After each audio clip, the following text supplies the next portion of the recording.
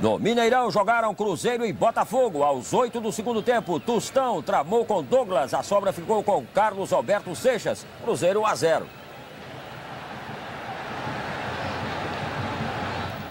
A defesa do Bota bobeou. Givaldo lançou Carlinhos, que cobriu Luiz Carlos. Fácil, fácil, repare. Cruzeiro 2, Botafogo 0.